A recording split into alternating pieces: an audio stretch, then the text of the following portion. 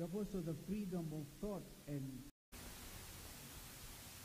and and I although you call it a district, district Nairobi, Kajiado, and uh, and up to Nyeri, uh, bigger than counties. so we are very honored to have been asked to join with you, um, man of God, uh, Zerubbabel, very strong uh, prophetic messenger of God. We thought we could come and just join with you uh, and, and eat the cake together with the children one year of this congregation. So I think we need to clap for you and give you all the encouragement. Beyond that, uh, we have to recognize that we are living in a country that is democratic and country that has recognized under our Constitution 2010 the supremacy of God in the lives of this nation, in the life of all Kenyans. Um, that's why it's so clear that under our Constitution 2010 uh, that this is a nation under God. And so, also being a democratic, multi-party democracy, expressly recognized under our Constitution as well. Therefore, Bishop and Pastor, You forgive us if uh, on our first encounter with you, we tell you about some of these truths that are in our Constitution. The freedom of expression, the freedom of worship, and, uh, and I'm quite sure that is what we hear. But as even continue to enjoy these free, uh, freedoms, you have also the freedom of thought and particularly political expression. I belong to a school of thought that does not look at some as politicians. They are leaders, especially called by God to someone in a particular manner. Because the ordinary perception of politician is somebody who lies, or somebody who is very economical with, uh, with facts and truths. And so the moment I believe for Africa is now. And it is here. Therefore, for, us to have had this French aspect of it is, is very encouraging. we have to respond because you are leaders. And, and I liked it very much. I was coming on the road and there was a pastor praying. And I think we will hear ourselves you. We hear ourselves. Uh, And, and they, when you say we are commanded under, in book of Romans to pray for those in leadership positions. Some people just believe that you just pray for the president and the deputy president. We actually pray for them by name. But when the next command said, you also pray for the leaders in your position. Because that is the totality of the Kenyan rea- reality and our Constitution 25.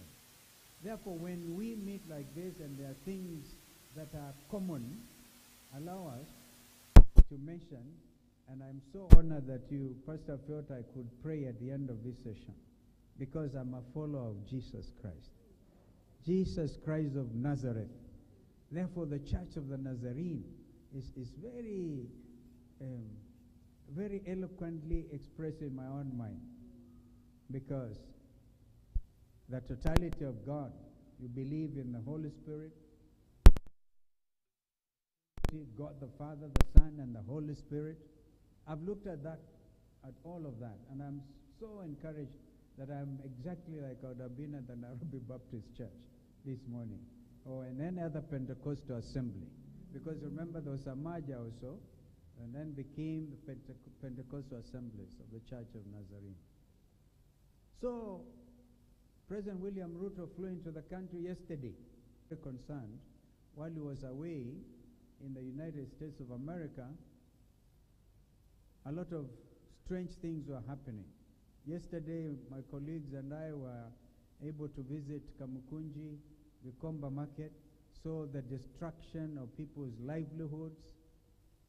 They do not have children suffering from pneumonia because after the, the, the flash floods and then the demolition, the demolitions that have happened, there's a lot of suffering going on. And I want to ask that we pray for the suffering Kenyans who do not know even how to put food, um, place some chakula on the table for their children. And uh, Kenyans are concerned about, for example, the high cost of travel. I was once vice president under President Kibaki. And in fact, one of the clips that is going around is showing me receiving President Kibaki at the international at Moi International Airport. He just arrived from New York to attend the United Nations General Assembly. Uh, I want to challenge uh, President Ruto because he has just said that in a very democratic manner, because that's what we are. He has just said that um, the 200 million shillings that uh, the State House Controller or Minister of Foreign Affairs paid to this uh, royal company uh, from Dubai to Washington is actually cheaper than flying Kenya Airways. Uh, th- that has just come through while we are here, um, really celebrating with you one year of this congregation. We have also to now really come out as a nation and, and, and pitch for truth, even in terms of uh, um, um, top leadership of this country. And, and the good thing is, President Ruto is saying, uh, because he's a people's servant and he wants to express, uh, you know, kind of live transparently, it would be very good if that can be published, how much it costs to fly Kenya Airways, because a regular flight from Nairobi to New York by KQ. And if one was to fly uh, first class, and you know, by the way, they do configuration for heads of state, and you fly directly, uh, first class or configured. It is not like uh, when Francis Atwoli was saying the president of the republic would be rubbing shoulders with uh, people wanting to use the toilet facilities, for example. When you are flying ahead of state, it is quite different. Uh, we've done these things before. It would be very interesting for Kenyans to know how much it would have cost, right, to fly the president by KQ from Jomo Kenyatta to New York, or even indeed to Washington, on a regular flight. Because that's what President Kibaki used to do. I remember also meeting President Mkapa. They fly uh, from Tanzania to catch a flight across to uh, Europe, and catch either an Emirates flight, regular flight, or catch a BA flight. These are normal ways of travel. And what President Uhuru, for example, will do with the Fokker friendship, which was procured by President Moi when he was there, very effective still, fly from Nairobi to Dubai, and then fly the regular, um, regular flights, long haul flights of Emirates or Qatar or whatever from Doha into Washington, Washington Dulles, for example. That's the international airport in Washington, or fly into New York. So these are some of the things that we we expect leaders to speak openly and be truthful about these things, and then do let Kenyans then judge which is cheaper. But it is good that uh, uh, President Ruto has responded to that concern by Kenyans, and because he has, let all the facts be laid bare, so that the truth will be uh, known to Kenyans. You know, we misinterpret the Bible sometimes when and leaders say, Ye shall know the truth, and the truth shall set you free. You know, it was Jesus Christ Himself who said that. He is the truth. So, not his other truth by Kina Kalonzo and Eugene and Kioni. okay? Uh, But truth is also important. It finds universal expression. The other thing is that we want to thank um, the church for standing again at this time. And, and if we are in a country that is democratic, a country that regards and respects every other citizen as equal, equality before the law, it is important that we also recognize the church in Kenya. The church in Kenya. We're beginning to hear the church again speaking. We had Archbishop uh, Ole Sapit when he was uh, in North Baringo, for example, challenging the president to say, before you send our young men, I don't know how many women will be going there, a young men to Haiti, and then be seen like an occupation force by that Caribbean country, why don't you deal with insecurity in North Baringo first? That was a way, as a church, that's a way Ole Sapit looked at it, Archbishop Ole Sapit. We need to tell Kenyans the truth. Even when I was here, I tried to check again with the president of the Law Society of Kenya.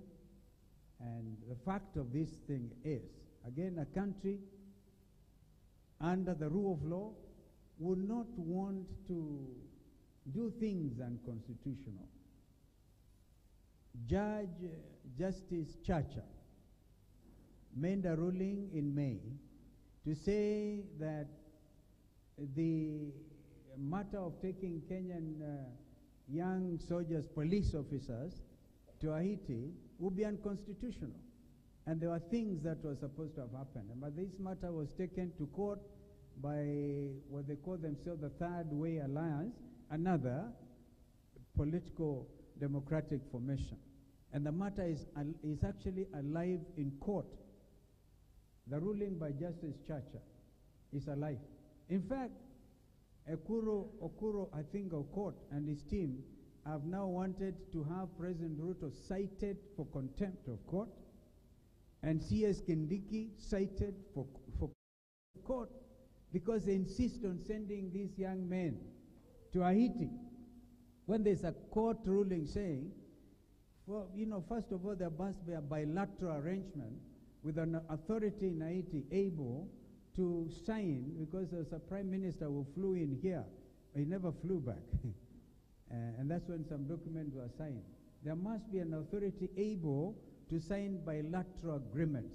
That was a ruling of a court. Uh, so mambo haya ni magumu, but thank you. Thank you for inviting us so we can share.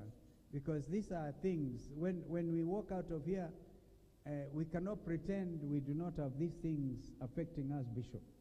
So that's why we are sharing them with you, because we are the other side of government in this country. The opposition under Constitution 2010 is the other side of government. It's actually the government in waiting. So if we don't tell Kenyans this truth, we'll be failing in our duty. Man of God, we thank you that you invited us to come. And we want, therefore, to take the opportunity of this, of this opportunity to say leaders must not take things for granted. There are other deeper issues that have come out of this visit by President Ruto to the United States, which you need a serious conversation. For example, our foreign policy orientation. Madam, uh, the secretary of this church, I don't know whether she's still in the house, uh, she said that she only used to hear of the Minister for Foreign Affairs. He's now right in front of you. former Vice President, former, former Minister for Foreign Affairs. In fact, had the BBI gone through, because this is the other issue, which is also coming out, Kenyans were pushed to throw out a very important reform program, the Building Bridges Initiative. As terms, we are not going to be talking about uh, secretary, secretaries when we mean ministers. It was proposed that we go back to ministers, like Mheshimiwa Eugene was Minister for Defense. I was Minister for Foreign Affairs. We cannot really take everything from America and then pretend we are of, of, of America. We are not. We are not one of the 52 states of the United States of America. A great people live out there. And we would want, and of course, want to cooperate and, and, and work with them. But Kenyans would want to know the security implications of being designated as a non NATO ally. What does that mean? The security implications. Because we're in a very volatile region, populated by Al Shabaab and other places. We took the bullet in 1998 as a country. We took a bullet. Remember when the United States Embassy was bombed here in Nairobi and simultaneously in Dar es Salaam? The biggest damage was here. I think, in fact, if uh, President William Ruto had taken uh, Senator Agnes Kavindu, Senator for Machakos, because she had brought a very important matter of Kenyans who lost their lives. There are a lot of them still who cannot see properly because of that bomb blast, and they would have expected some measure of compensation. They still are there talking about it. This matter, in fact, would have been very well handled if it was brought before uh, President uh, Joe Biden, who was playing host to, to President Ruto. So, we want to invite uh, our scholars and foreign policy uh, practitioners to debunk this matter. Uh, President William Ruto made me laugh when he was asked by Richard Quest of the CNN uh, whether Kenya is looking east or looking west. He said, We are not looking either way, we are looking forward. that was very interesting coming from. So he himself needs a bit of orientation on some of these things. This is an independent republic. And because of our geographical location, where we are, at the Horn of Africa, with all these challenges, we need to be absolutely careful about what we do so that the Kenyan people will remain safe under foreign policy that is reliably tested over time because we are friends. We are friends with the United States of America, for sure. The first airlift of Kenyans, the late Tom Joseph Mboya and Robert Kennedy, those were the people who, because we were just become a fresh, a newly independent state, and we didn't have even the knowledge to run a whole nation. That's why the Robert Kennedys and, and, and Tom Mboya organized the first famous airlift of Kenyans in order to capacity build for a new Kenya that time. But time, time, time has brought about a situation where this is a very solid country. Uh, we pray for Ethiopia, we pray for Uganda, we pray for Somalia, Somalia in particular, South Sudan. We continue to help our people, our friends in South Sudan. Pray for South Sudan. Pray for Somalia. Ethiopia is in some kind of a turmoil.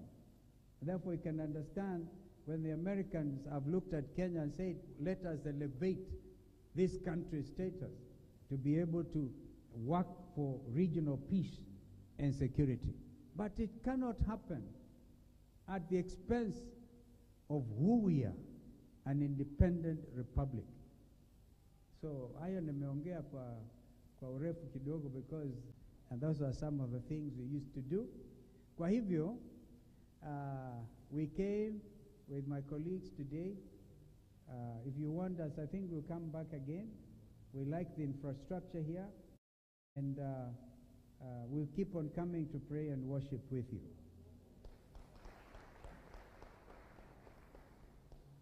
And maybe, maybe you may have to go up, up in the years ahead because this, as I said, I'm not a prophet, but as I said, I'm just a follower of Jesus Christ. Saved by His grace. And thank you for the opportunity to partake uh, in the Lord's table. That was very, very unique, and we really appreciate. That's why we have to say it, so that uh, we all walk out of here feeling renewed spiritually.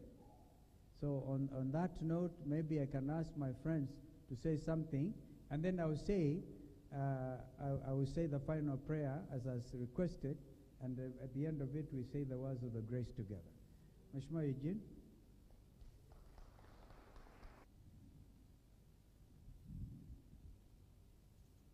Praise the Lord. Not much French, but uh, I, I'll, I'll try to learn. Bonjour. Louise Le Seigneur. Ah, Sante Sana. Je m'appelle Eugene. Merci beaucoup. I want to say uh, merci beaucoup to thank you in a very special way for having us in your church. I must con- confess I'd never heard of this church. I heard of it from uh, my friend Dr. Stephen Kalonzo Musyoka, and he told me he's been invited to the Central Nazarene Church.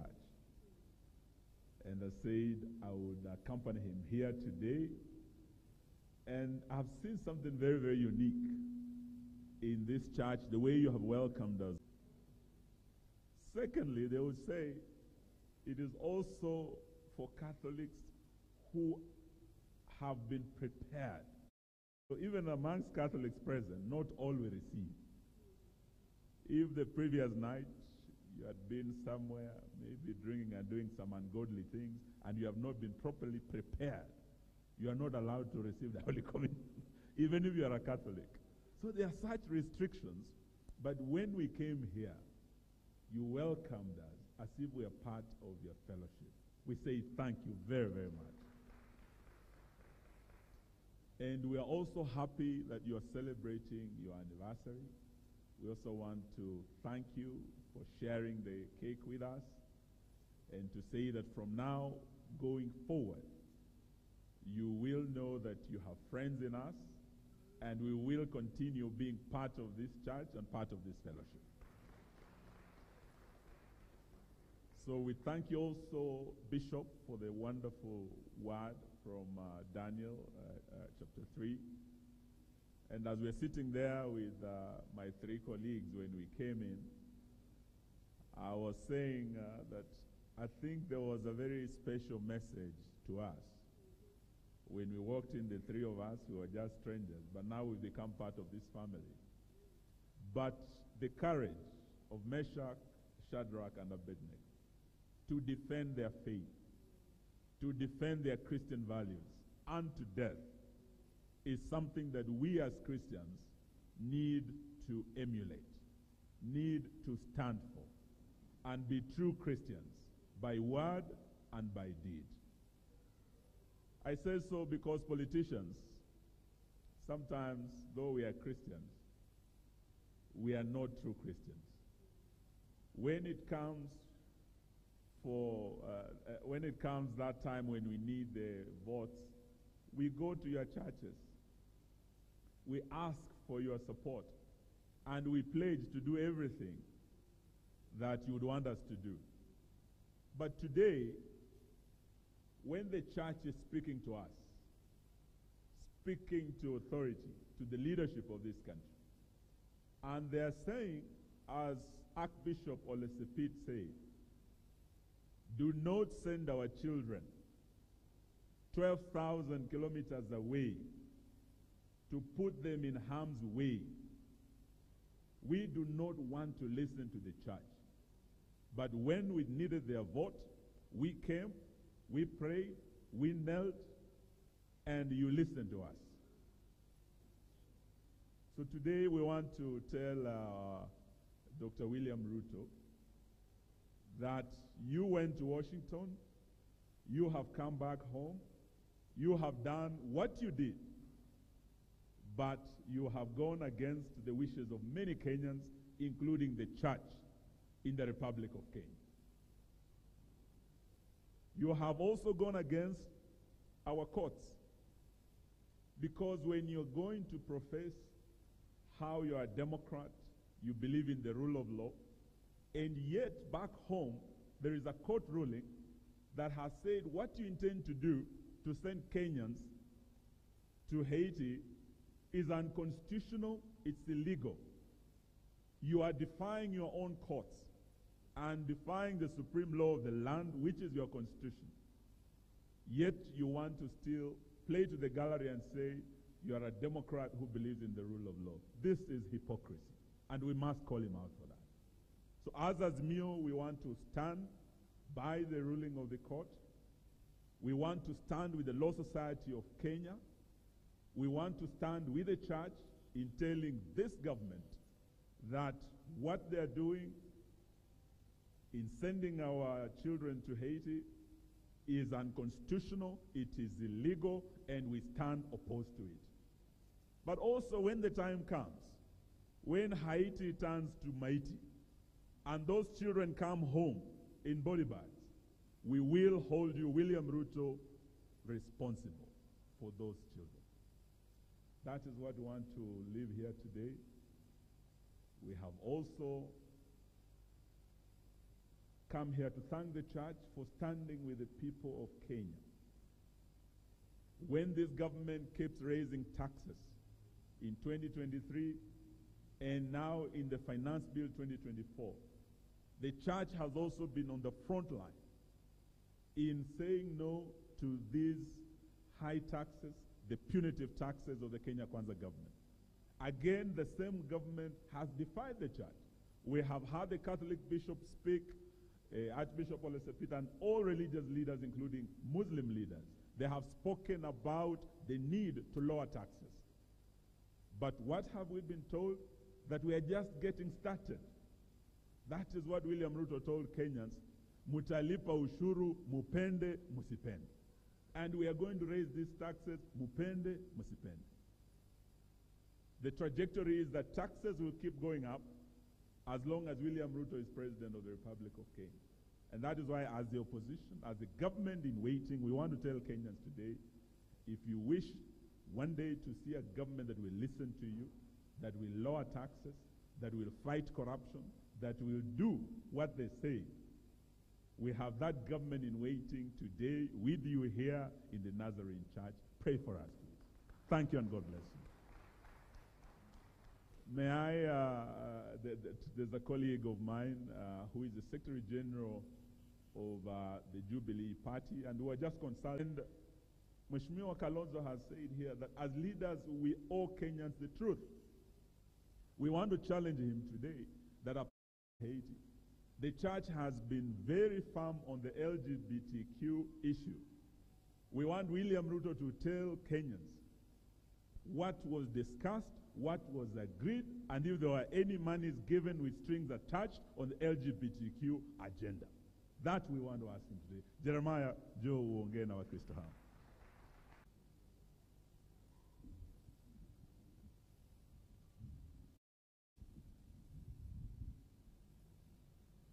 I am I'm looking at the book of Proverbs. Proverbs 31, 1 to 9, but I, you can look at verses 9, verses 8 and 9, and it reads, Speak up for those who cannot speak for themselves, for the rights of all who are destitute. Speak up and judge fairly, defend the rights of the poor and the needy. And I want to uh, thank our leader, the former Vice President of the Republic of Kenya, Mheshimiwa Kalonzo Musyoka, for inviting us to come to accompany him to this church. I was last here in this church 25 years ago. And I remember I stood here, we were doing some Bible study, and uh, the BSF, we were doing it here some 25 years ago. So unlike Wamalwa, I have been around a while, for a while. But I, I think it is important to point out, like my colleagues have said, and I associate myself with all, all they have said, that we are now at a time when we have to get the church to speak on behalf of the voiceless. If the church does not speak, the voiceless in this country are going to really get into a lot of difficulties, one disaster into another. It is true that uh, um, Dr. William Samoei Ruto has said that uh, the 200 million shillings that it costed him to hire the, the jet. And remember, there was a heap of other people in the other flights. It's not that they were all in one plane. So we are only talking about those who are in the loyal uh, jet. And it costed us uh, 200 million shillings. And we still have not been told how much it costed us because the plane waited for him for the time that he was in the U.S. on that side. Even there were, he was not charged for the flight, um, uh, for the plane when it was not still at the, at the, at the airport, the pilots and everybody else was there waiting for him. That cost must have come to the uh, taxpayers also. So it's necessary to know what is this cost? What is the, the figure? Because we have seen other presidents before. Mheshimiwa Kalonzo has said, Wamalwa has uh, also said, they were traveling before and they have gone for all these trips before to the U.S. And they have used commercial uh, flights, and certainly they were cheaper than um, uh, what you'd want us to, to believe. And I think it is also important that uh, Daktari Samoei William Ruto awe na heshima kwa Wakenya, sababu pia tukiwa na hii kitu you can always find out what he is telling us. When he, he lies to the whole country that uh, it was cheaper to take a jet uh, as opposed to taking a commercial flight, I really, saa zingine unasikia kama heshima kwetu hamna na sio jambo nzuri. Na, ni vizuri kuwa na heshima hasa kwa wale walikupatia kazi na pia wale ambao wanakutegemea uweze kuwasaidia. And I talk about the voice of the voiceless because yesterday, uh, Kalonzo has mentioned, we went to Gikomba, we went to uh, Kamukunji and all those areas. And it is important th that the church also visit those people. The demolitions that are being done, and they are being done so that we can again impress the Mzungus that we are conscious of climate change without any feeling for the poor is very disheartening. It's really, really disheartening. It was really sad to see those poor people, no covering on their heads. One mzee told me that I have been here since 1971, and he was now out into the open, not knowing where to go next. And they are being told you need to be 30 meters away from the river. Yes, 30 meters away from the river.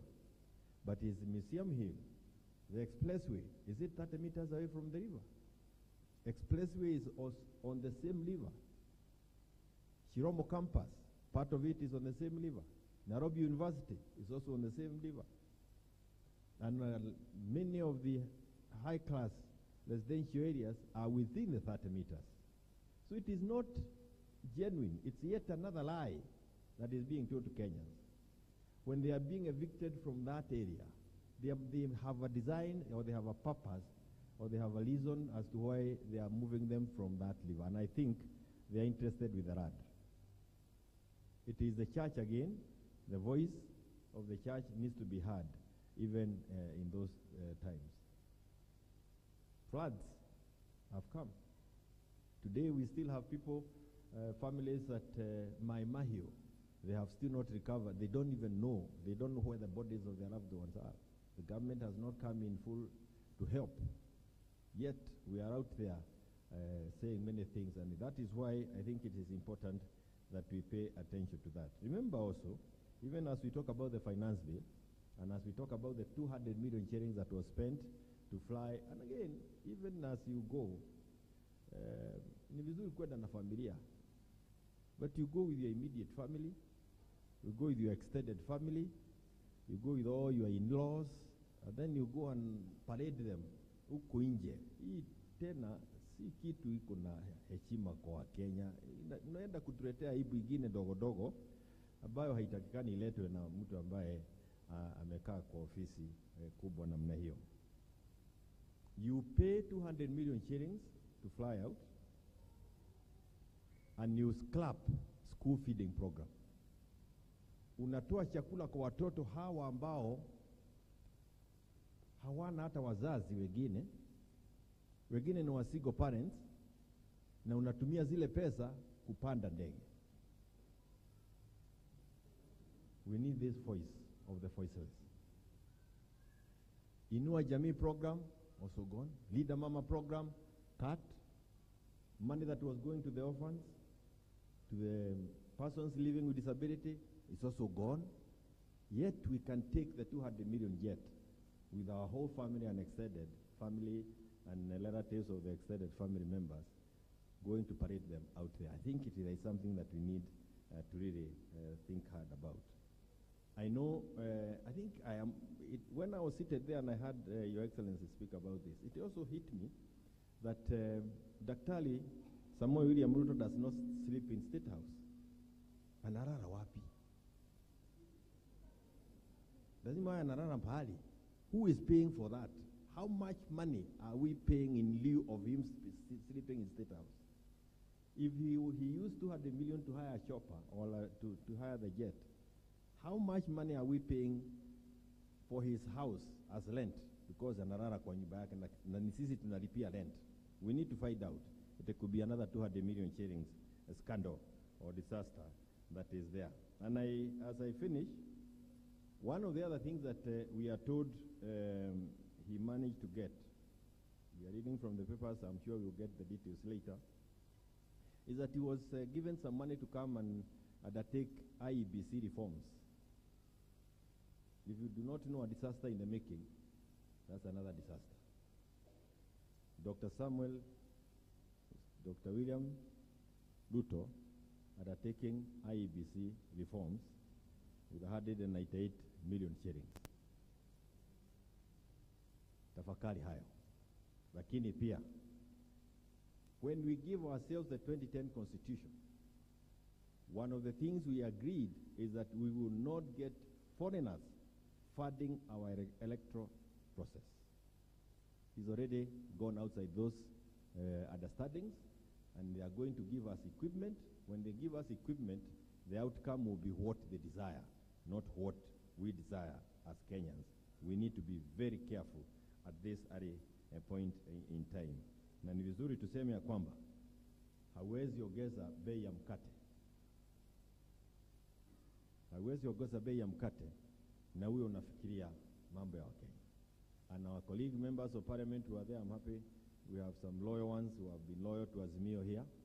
Those who left us and went to se- sell our souls to UDA, they need to know that they sold the souls of these young ones who would have depended on them at time like now when we need that voice of the voiceless. I thank you for giving us an opportunity to come before you and for us to be able to fellowship with you and even to share the Holy Communion with you. I am a follower of Christ, and that is a special moment that we had in this church. God bless you and thank you. doubt because the media is here and in interest of full disclosure information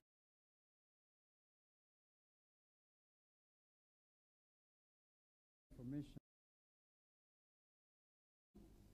a declaration is hereby issued that sections 107 108 and 109 of the National Police Act, which provide for deployment of police officers outside the country under reciprocal arrangements um, to reciprocating countries are unconstitutional and are constitutional valid. Number two, a declaration is thereby issued. The National Security Council has no mandate to deploy police officers outside Kenya Article 240, uh, 240 sub Article 8 of the Constitution or any other law.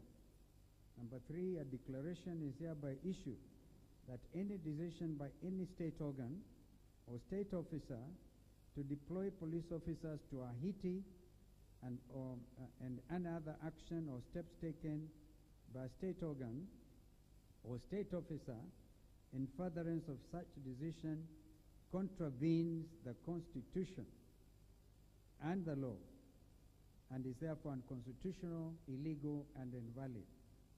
An order is hereby issued prohibiting deployment of police officers to Haiti or any other country otherwise than, otherwise than in compliance with Part um, 14, Section 107 and 108 of the Na- National Police Service Act.